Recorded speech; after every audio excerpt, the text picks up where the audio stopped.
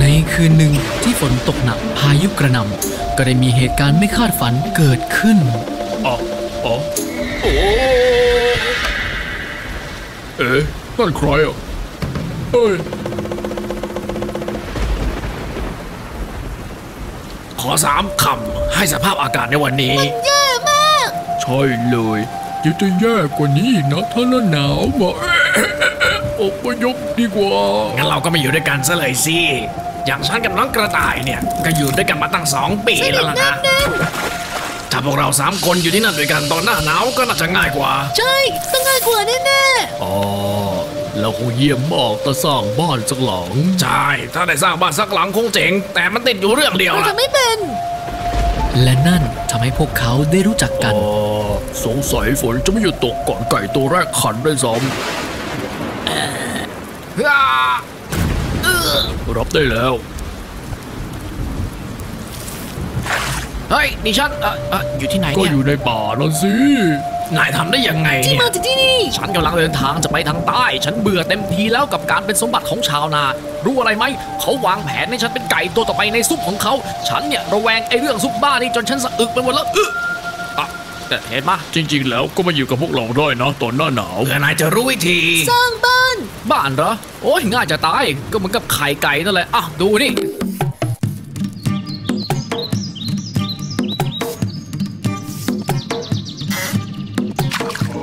พวกเขาจึงได้มาอยู่ด้วยกัน เพื่อเตรียมตัวสำหรับหน้าหนาว คุณหมีสร้างบ้านเอาไว้ให้พึ่งทำรัง เพื่อที่เขาจะได้มีน้ำพึ่งไว้ดื่มกับชาในหน้าหนาว คุณหมาป่าจับปลาจากแม่น้ำเพื่อเอามาตากแห้งและรมควัน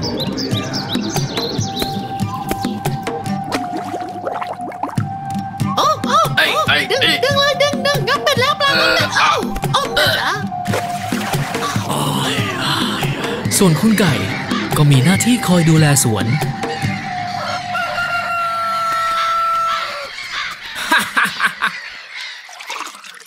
นี่สหายทุกท่านจะดีกว่าไหม ถ้าเราซื้อวัวเก็บไว้สักตัวหนึ่งใช่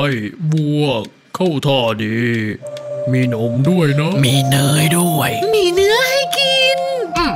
เอาละคิดออกแล้ว จากนมเรามาทำให้เป็นเนยได้ เก็บเอาไว้กินตอนหน้าหนาวได้ด้วยยังไงล่ะเยี่ยมเยี่ยมเลย และพวกเขาก็ตัดสินใจไปซื้อวัวนี่น้องตายจ๋าอย่าเศร้าไปนะตอนที่พวกเราไม่อยู่กัน เหลือไว้เพียงคุณกระต่ายที่คอยอยู่ดูแลบ้าน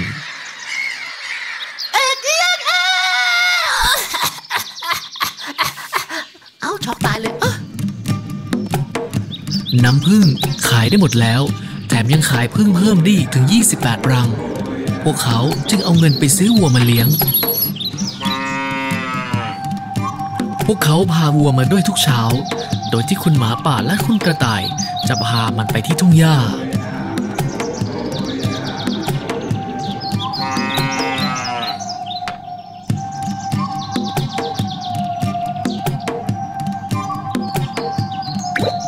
พวกเขาตักครีมจากนมวัวที่ได้ แล้วนำมาปั่นให้กลายเป็นเนยยังยังยังยังยังยังยังอืมสหาย เนยนี่มันสุดยอดไปเลย เดี๋ยวเอาเก็บไว้ห้องใต้หลังคานะ ห้ามไม่ใครยุ่งเด็ดขาด ห้ามเด็ดขาดไม่ว่าใคร ฤดูหนาวนี้นะ เราจะค่อยๆใช้มัน เอาไปทอดกับมันฝรั่งนะ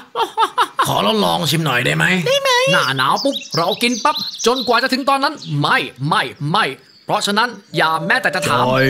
จริงๆด้วยต้องมีกฎนะ เมื่อถึงช่วงปลายของฤดูใบไม้ร่วง พวกเขาก็มีเนยอยู่เต็มหม้อ สายันสวัสดิ์สวัสดีค่ะ พวกคุณทุกคน นี่เธอมาจาก ที่ไหนเหรอฉันเป็นจิ้งจอกกำพร้าที่ถูกทิ้งให้อยู่ตามลำพังบนโลกใบนี้ ฉันไม่มีที่ไป และทั้งตัวของฉันก็มีแค่เหยื่อเปล่าๆใบนี้แหละค่ะ ขอฉันอยู่ด้วยคนได้ไหมคะคุณนะ ใช่ อยู่คนเดียวลำบากมาก ใช่เลย ฉันกับน้องกระต่ายนี่เราอยู่ด้วยกันมาสองปีแล้วเดี๋ยวล่ะน้ำก็นะหายร้อนมาตกอืม งั้นก็อยู่กับเราเถอะจิ้งจอก เอาละสหายเป็นที่ทราบกันดีว่า รวมกันเราอยู่ ดังนั้นสุนัขจิ้งจอกจึงได้อาศัยอยู่กับพวกเขา เธอทำตัวดีและเป็นมิตรเข้ากันได้กับทุกๆคน พยายามทำให้ทุกคนพอใจ ระวังปีกของคุณจะถูกกัดเอา เพราะหมาป่าสีเทาเข้ามาแล้ว เฮ้ยยใส่ลายหมาป่าตลอดเลยนะ โอ้หิมะตกแล้ว โอ้ นี่ก็น่าจะถึงเอาเนยของเราจากห้องใต้หลังคาได้หรือยังแน่นอนแหละว่ายังอย่าเพิ่งรีบร้อนจนเกินไปสินี่มันยังไม่หน้าหนาวเลยนะ มันยังเร็วเกินไป แล้วถ้าเป็นวันพรุ่งนี้ล่ะ พรุ่งนี้ได้ไหม เอาไว้พรุ่งนี้มันมาถึงก่อนก็แล้วกัน แล้วพรุ่งนี้เราค่อยไปคิดกันอีกทีนึง และนั่นก็ทำให้จิ้งจอกได้รู้เรื่องที่เกี่ยวกับเนย เนยเหรอ พวกแกจะไม่ได้เนยอะไรทั้งนั้นแหละ เฮ้ย จิ้งจอกกำร้าอยู่บ้านหรือเปล่าจ๊ะ อยู่อยู่จ้าเดี๋ยวเธอเดี๋ยวเธอก็กลับมาฝากบอกเธอหน่อยนะ ว่าให้มาหาแบดเจอร์สที่งานวันเกิดหน่อย มาตั้งชื่อลูกให้หน่อยนะ เดี๋ยวจะบอกให้เธอรู้แน่นอน ไม่ต้องเป็นห่วงนะ นี่จริงจอกมีคนมาหาเธอที่นี่มาชวนเธอให้ไปตั้งชื่อลูกให้ตัวแบดเจอร์งั้นฉันคงต้องไปสินะ ฉันต้องคอยเอาเอาใจพวกเขาแล้วก็หลอกล่อมาจนได้ เจ้าหมาจิ้งจอก เจอต้นไม้แห้งต้นใหญ่ที่มีรูตรงกลาง จึงซ่อนเนยเอาไว้ที่นั่นแล้ว พวกเขาเลี้ยงข้าวเธอไหมอะไรกินบ้าง มีมีก็มีท่อนมันปลาที่คลุกกับเนยละลายเข้าไปอร่อย แล้วเธอตั้งชื่ออะไรให้เด็กๆกันล่ะฮะชื่ออะไรเหรอชื่อน้องปรีโมวันต่อมาเหตุการณ์ก็เกิดขึ้นเหมือนเดิม ฉันถูกชวนไปงานวันเกิดอีกแล้ว คราวนี้เธอจะตั้งชื่อให้เด็กๆว่าอะไรเหรอชื่อเมดิโอ และในวันที่สามจิ้งจอกก็เอาเนยส่วนสุดท้ายไป แล้ววันนี้ล่ะเธอจะตั้งชื่อให้เด็กๆว่าอะไรฟิลานิโอ และแล้ว ฤดูหนาวที่แท้จริงก็มาถึง วันนี้ก็น่าจะถึงเวลาที่เราจะได้เริ่มกินเนยของพวกเราแล้วใช่ไหมล่ะ ที่พวกเรารอกันมาแสนนานเอาละตอนนี้ก็ได้เวลาแล้วล่ะนะอ้าวเฮ้ยจิ๊กจอกเธอขึ้นไปเอาเนยให้หน่อยสิฮะอยู่บนห้องใต้หลังฉันคาเหรน่ะออะอะฮะ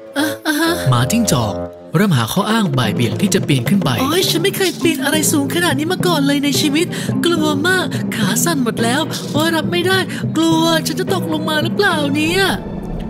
เฮ้ย ไม่เห็นจะมีเนยที่นี่เลยอะ ไม่จะไม่ไปไหนไปไหนไปไหนไปนายของเราหายไปไหนอะเสียดายนะ ฉันนี่อยากกินมากเลยอยากกินเนยเราต้องหาหัวขโมยให้เจอ แล้วจับเอามาลงโทษให้ได้เออ หาตัวมันมาเลย โดนหนักแน่แน่แน่นอนอยู่แล้ว แต่หายังไงให้พวกเราก่อกองไฟขึ้นมา จากนั้นก็ไปนอนรอบกองไฟ แล้วความร้อนของกองไฟ ก็จะทำให้เนยไหลออกมาเป็นเหงื่อ จากพุงของคนที่กินมันเข้าไปนี่แหละ ดี๋ยวมันจะออกมาจากท้องอะนะฮะเหมือนกับไข่ไก่ยังไงก็ไม่รู้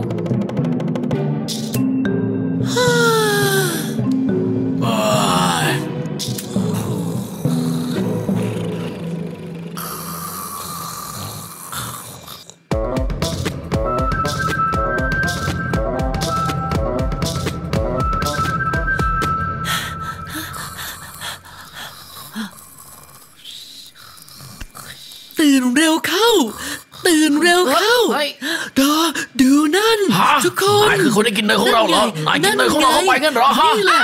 คนที่กินเนยของพวกเราทั้งหมดเข้าไปนี่แหละอ๋อเป็นไปได้ยังไง แย่แล้วช่วยฉันด้วยฉันไม่ได้กินเนยของพวกเรานะไม่กินได้ไงคนไม่กินได้ไง นี่ไง คนที่ขโมยเนยของเราไปไม่จะไม่ได้กินเนยนะเชื่อฉันสิพี่น้องทุกมีคบางนอย่างที่นี่ไม่สมเหตุสมเราผลลองมาตรวจสอบกันดูอีกทีดีไหมตรวจสอบอีกทีไม่จำเป็นต้องตรวจแล้ว จะตรวจอะไรอีก ทุกอย่างชัดขนาดนี้ ทุกคนฮะควรได้รับการตรวจสอบเป็นครั้งที่สองนะ เพราะฉะนั้นฉันขอให้ทุกคนไปอยู่รอบกองไฟอีกครั้งหนึ่ง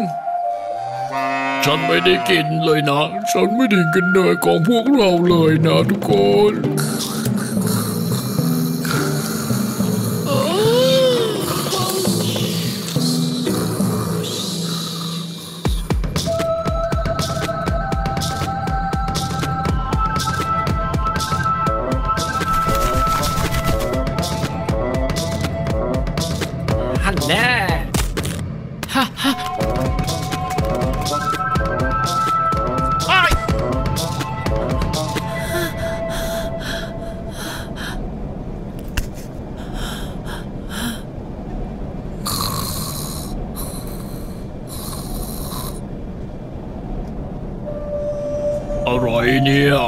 ไม่ได้กินเนยอะไรเลย โอ้ยฉันบอกพวกนายไปแล้วไม่ใช่เหรอฮะวันเนี้ยคือคนที่ขโมยกินเนยของพวกเรามันจะเป็นไปได้ยังไงแล้วพรุ่งนี้เช้านะ เก็บข้าวของออกไปจากพื้นที่นี้เลยนะเจ้าหมี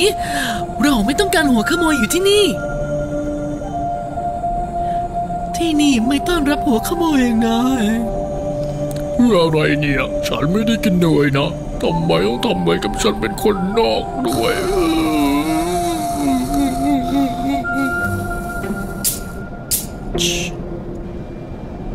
ไปเร็ว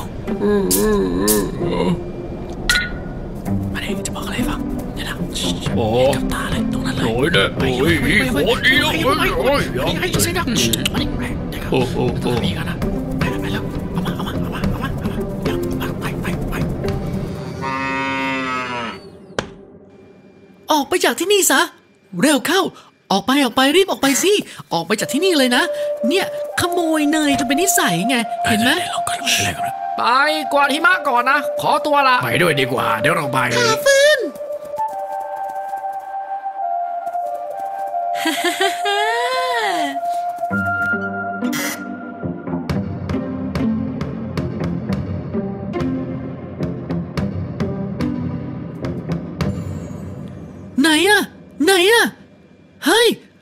อนเนยทั้งหมดไว้ที่นี่นี่นา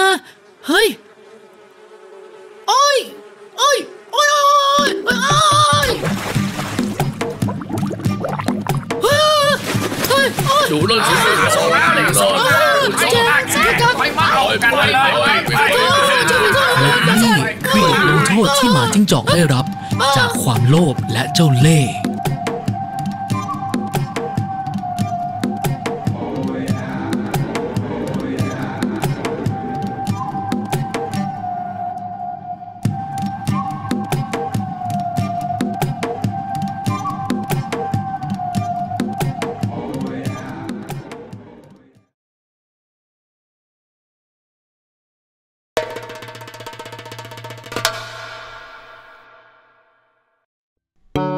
เรื่องเล่าของเจ้าหมี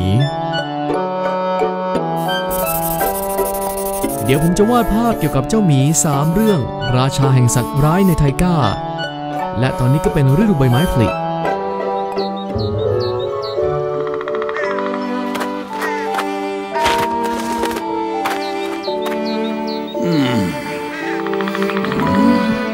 ตลอดฤดูหนาวนี้ เจ้าหมีจะนอนอยู่แต่ในถ้ำของมัน อถึงฤดูใบไม้ผลิถ้ำก็จะละลายนิดหน่อย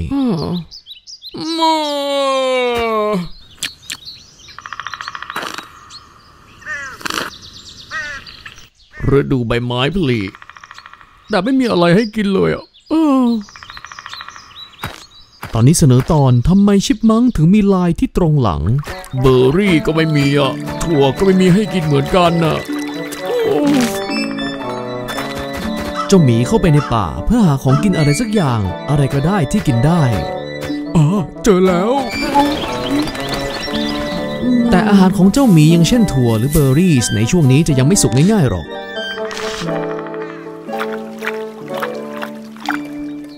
แล้วเจ้าหมีก็เดินมาเจอกับตอไม้เก่าโอ้ ขอนั่งพักตรงนี้หน่อยนะๆแต่มันมีรังของเจ้าชิปมังอยู่ใต้ตอไม้นี้นะสิ เจ้าหมีเกือบจะทำพัง เพราะนั่งทับมันซะแล้ว เอออืมเฮ้ย มีใครอยู่ในนั้นไหมอะ ออกมาหน่อยสิ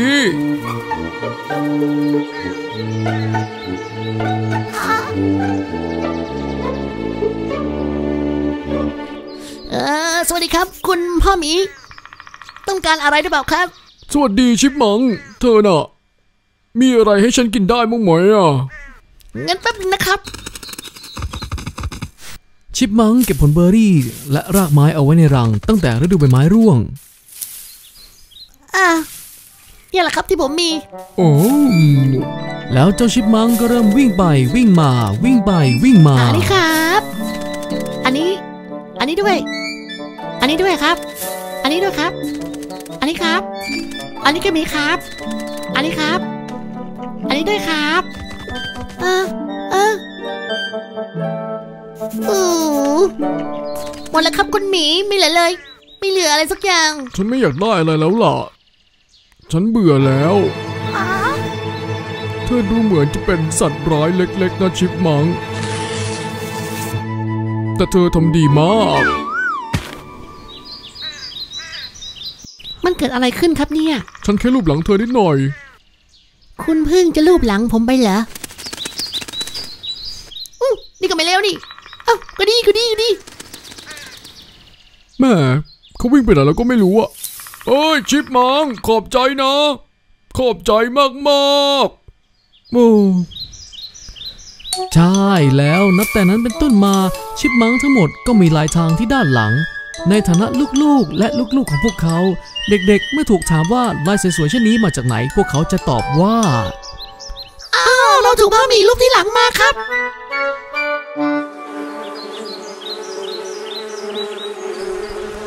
หลังจากฤดูใบไม้ผลิอันหนาวเหน็บ ฤดูร้อนที่อุดมไปด้วยเบอร์รี่ น้ำผึ้งและถั่วก็มาถึง โอ้ย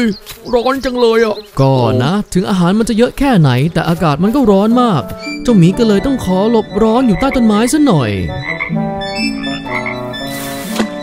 และตอนนี้เสนอตอนทำไมปลาคาร์ฟไม้กางเขนถึงตัวแบนปลาคาร์ฟไม้กางเขนอาศัยอยู่ในทะเลสาบ มีนิสัยอวดดีและเกเร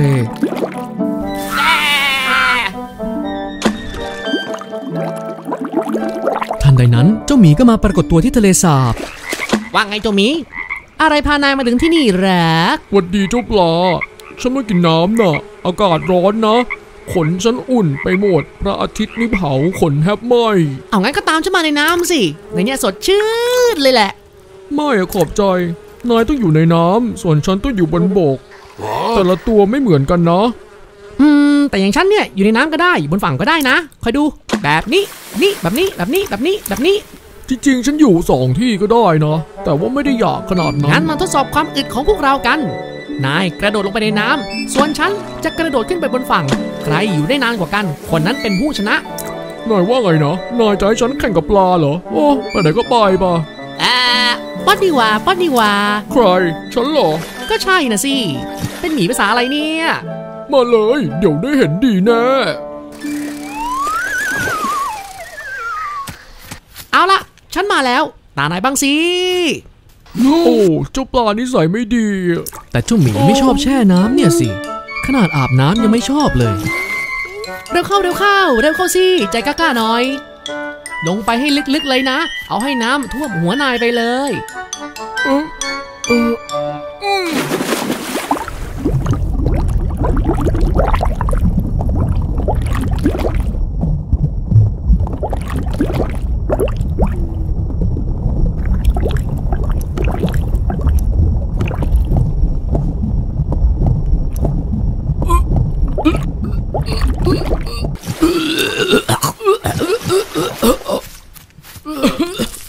ฉันไม่อยากทด สอบความอึดของเราอีกต่อไปแล้ว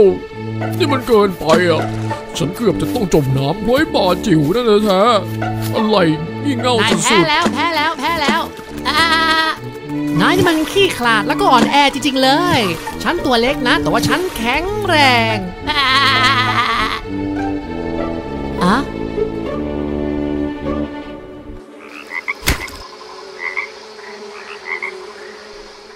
ดังนั้นปลาคาร์ฟไม้กางเขนที่เคยตัวกลมและหนา จึงกลายเป็นตัวแบนและบางลงๆงั้นก็ว่ายน้ำไปทั้งอย่างนี้แหละ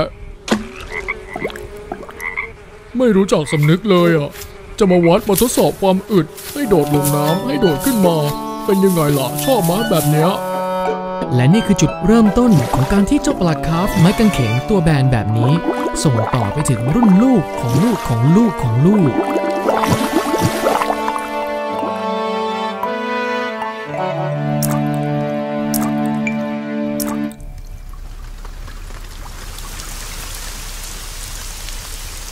ฤดูร้อนสีเขียวสดใส กลายเป็นฤดูใบไม้ร่วงสีเหลืองและมีฝนตก ความน่าเบื่อจบลง ถั่วและลูกสนกลับมาสุกงอมทั่วทั้งป่า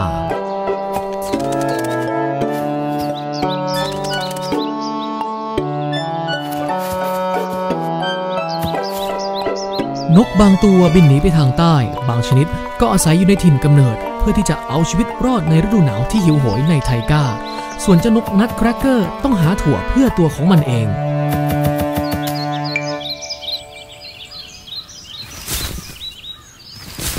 ตอนนี้เสนอตอนทำไมนกนัดแครกเกอร์ตัวผอมจัง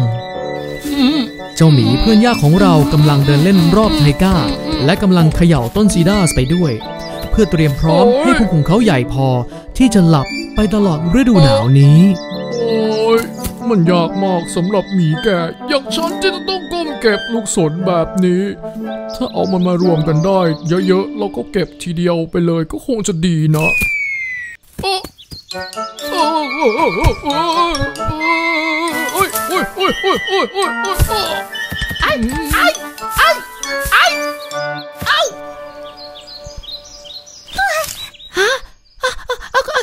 ดีตอนบ่ายนะครับเอ่อคุณหมีที่รัก เออ สวัสดีนะเจ้านก จะมาทำอะไรตรงลูกสนเนี่ยผมเอามาให้คุณนี่แหละฮะ แล้วผมเอามาให้ได้อีกเป็นสิบสิบลูกเลยนะฮะ ลูกสนแบบนี้ ตรงนี้มีลูกสนเยอะแยะ เดี๋ยวนายมาช่วยฉันเก็บจะดีกว่านะแน่นอนครับแน่นอน ผมช่วยคุณแน่นอนครับ คุณหมีที่รัก แต่ว่าดูสิ ตรงเนี้ยมีลูกสนมากมาย ผมรับมือคนเดียวไม่ไหวหรอกฮะ งั้นผมขอไปตามเพื่อนๆพี่น้องของผมมาช่วยได้ไหมครับ ได้สิได้สิไปขอให้พวกเขามาช่วยกัน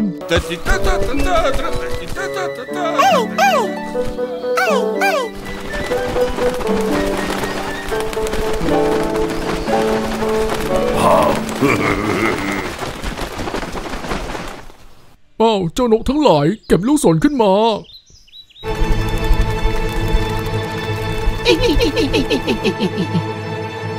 อ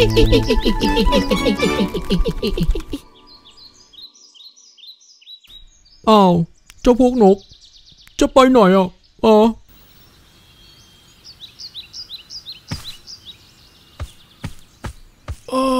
อันนี้ก็ของฉัน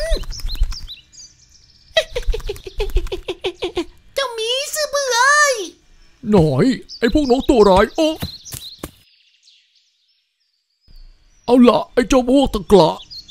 ยังไงซะ พวกนายน่ะ ก็ไม่มีวันอ้วนแล้วก็อุดมสมบูรณ์ได้เท่ากับฉันหรอกเอออย่างนั้นแหละ ใช่ พวกโลภมาก พวกเจ้าเล่ห์อะนะ ไม่มีวันมีความสุขหรอก ใช่เลย ใช่และนับตั้งแต่นั้นเป็นต้นมาเจ้าพวกนกนัดแครกเกอร์ทั้งหมด ลูกของพวกมันจนไปถึงลูกของลูกของพวกมัน ก็ผอมทุกตัวไม่มีตัวไหนอ้วนอีกเลย และดูนั่นสิ เจ้าหมีของพวกเรา เขาได้ผ่านพ้นฤดูหนาวไปแล้วถ้ำของเขากลับไม่ใหญ่ และแข็งแรงขึ้น ดังนั้นไม่มีเรื่องราวไหนในป่าแห่งนี้ ที่จะดำเนินไปได้โดยขาดเจ้าหมี และนี่คือเหตุผลที่ทำให้เขาเป็นที่สุดของไทก้า thank you.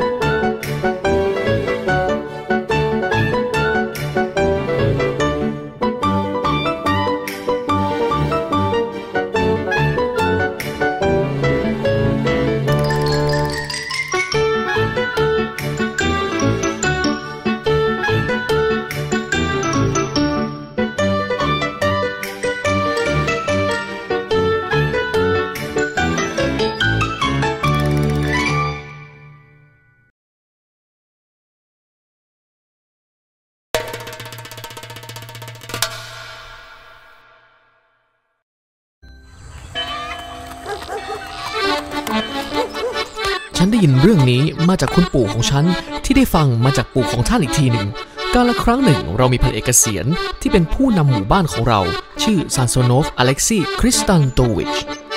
วีรบุรุษที่มีเหรียญเกียรติยศติดเต็มหน้าอก เขามีทุกอย่าง ตำแหน่งยศ ทรัพย์สิน อย่างเช่นวังและปราสาท และความเคารพจากชาวบ้าน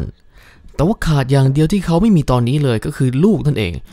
มาเรียนนิฟเฟียดอฟนาภรรยาของเขาเศร้ามากๆ วันหนึ่ง หมอดูชาวยิปซีบอกกับเธอว่า มีปลาวิเศษอยู่ในแม่น้ำดอน ใครที่ได้กินปลาตัวนี้เข้าไปแล้วก็จะให้กำเนิดลูกอย่างแน่นอน ถ้าให้กำเนิดเป็นลูกชายไม่มีปัญหา แต่ถ้าเป็นลูกสาวแล้วก็ควรแต่งงานกับเจ้าบ่าวคนที่สามไม่เช่นนั้นจะมีปัญหาอย่างแน่นอน แน่นอนว่ามาเรียนิฟเฟียดอฟนาไปรบเร้าเรื่องนี้กับสามีทั้งวันทั้งคืนว่าให้จับปลามาให้หน่อยและผู้พันก็ส่งพวกคาซักไปหาชาวประมง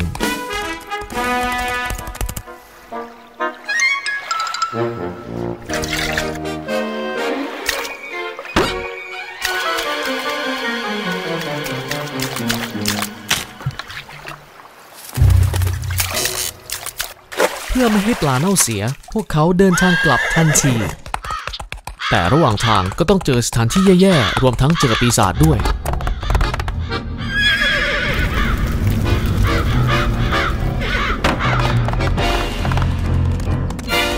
แต่ทุกอย่างก็ผ่านมาได้ด้วยดี และที่ริมหมู่บ้านนั้นก็มีหญิงม่ายคนหนึ่งอาศัยอยู่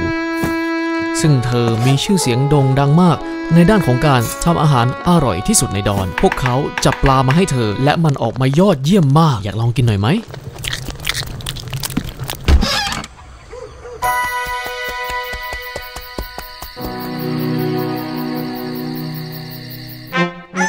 มันช่างเป็นปลาที่วิเศษอย่างกับเวทมนต์จริง ๆ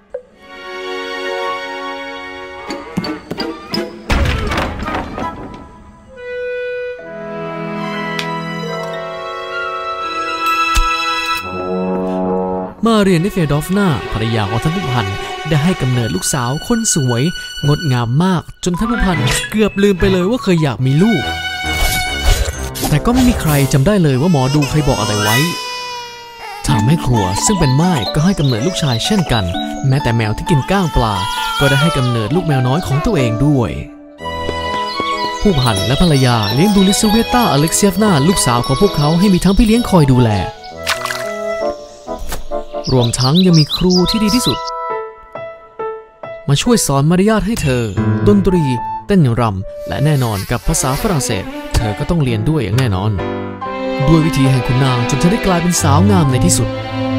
ทางด้านหญิงม่ายก็ฝึกสโตรบกาลูกชายของเธอกับช่างตีเหล็กที่เป็นญาติกันหนุ่มน้อยฉลาดมีหัวการค้า และใช้เวลาไม่นาน เขาก็ได้เป็นช่างตีเหล็กด้วยตัวเอง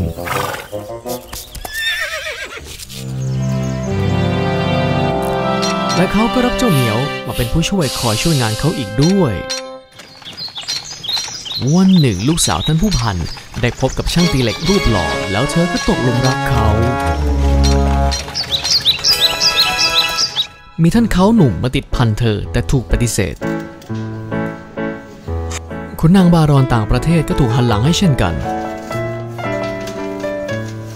มีเพียงช่างตีเหล็กคนเดียวที่เธอใฝ่ฝัน มื่อมีงานวันเกิดของลิซ่า รู้ไหมจะเกิดอะไร คนมาจีบรายที่สามปรากฏตัว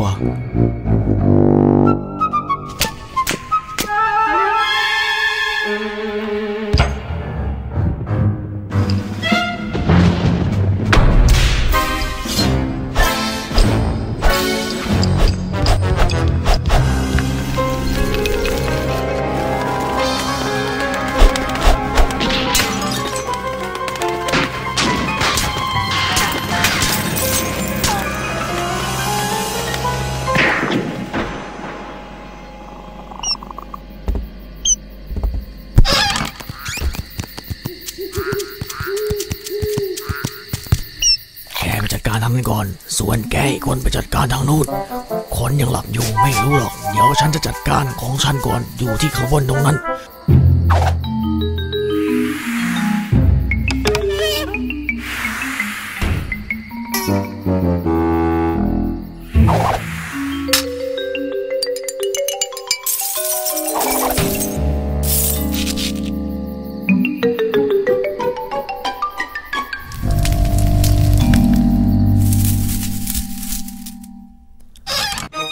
ปีศาจแก้แค้นทั้งหมู่บ้านโทษฐานที่ไปด้อยค่าและดูถูกพวกมัน ได้เวลาเช้าแล้ว แต่ฟ้าก็ยังมืดดำซะยิ่งกว่าเที่ยงคืน ท่านผู้พันจึงต้องรวบรวมชาวบ้านทั้งหมดในหมู่บ้าน เพื่อรับมือเหตุหายนะ และในตอนนั้นเองนายพลคุรบกินก็มาถึงเพื่อตรวจสอบระดับภูมิภาค และตัดสินใจแวะมาที่หมู่บ้านของเรา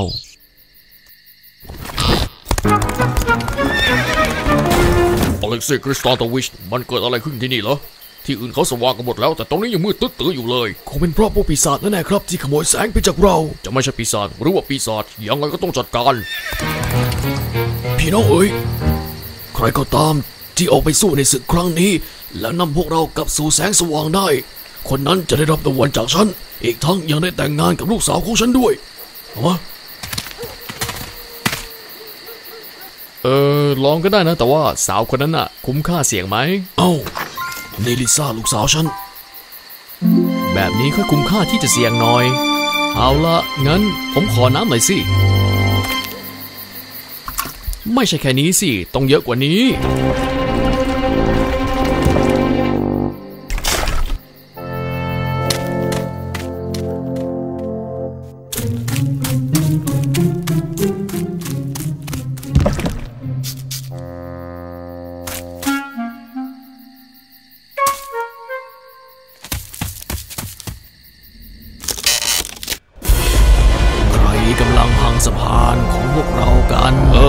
ช่างตีเหล็ก จะคืนแสงมาให้ หรือจะให้ฉันพังทั้งสะพาน แล้วก็พังทั้งแกไปด้วยเลย ไม่คืน มาวัดกันไปเลย โอเคโอเค แกเป็นไฟ ฉันเป็นน้ำ เดี๋ยวก็รู้ว่าใครชนะ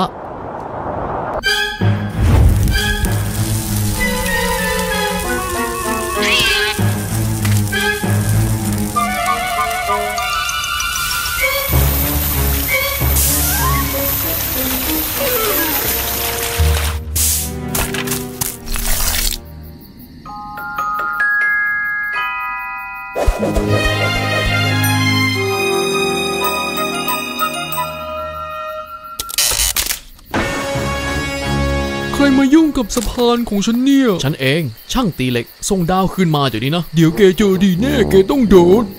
เอ้ย ใจเย็นๆสิ อย่าหัวร้อน เอาเป็นว่านายแปลงร่างเป็นหินดีไหม แล้วก็กลิ้งลงมาจากเนินเขาตรงนั้น แล้วชนฉัน ถ้าฉันล่วง นายชนะ แต่ถ้าไม่แล้วก็ส่งดาวคืนมา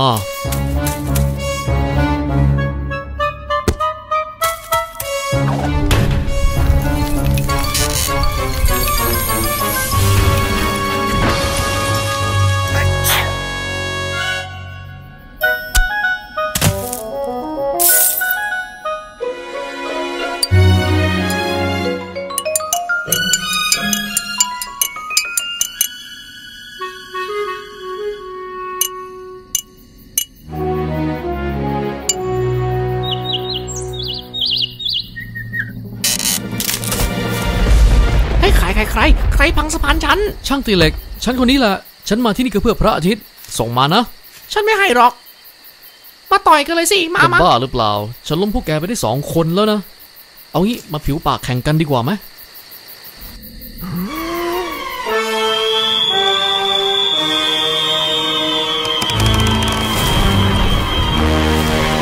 โอ้โห นายมันเซียนผิวปากดีกว่า เอาละตาฉันนะ นาย ปิดตาไว้จะดีกว่านะ เดี๋ยวตาถลนออกจากเบ้า เอาละจะผิวปากแล้วนะ อ้าวขออีกทีนะ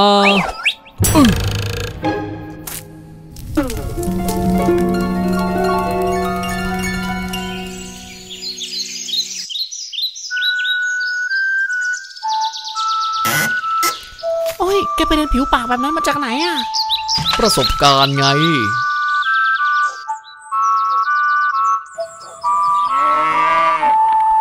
เมื่อมีพระอาทิตย์ ทุกอย่างก็ดีขึ้น อ้าเยี่ยมมากพ่อหนุ่มตีเหล็ก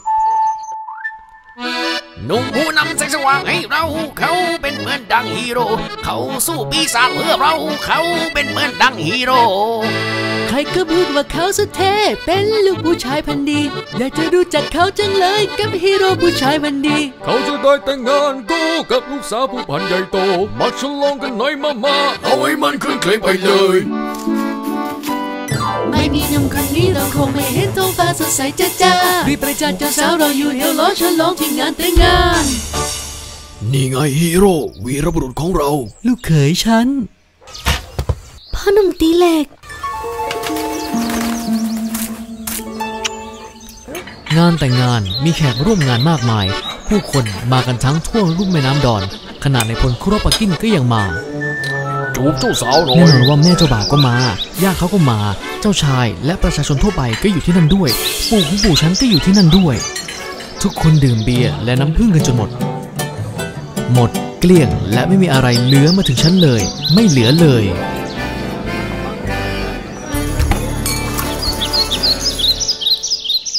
และแล้วพวกเขาทั้งสองคนก็อยู่ด้วยกันอยังมีความสุขตลอดไป เพื่อความสุขของทุกคน พวกเขาจ้างปีศาจมาเพื่อรักษาความสงบ บางครั้งไข่นรกก็มีประโยชน์เพื่อทำให้บางคนหวาดกลัวได้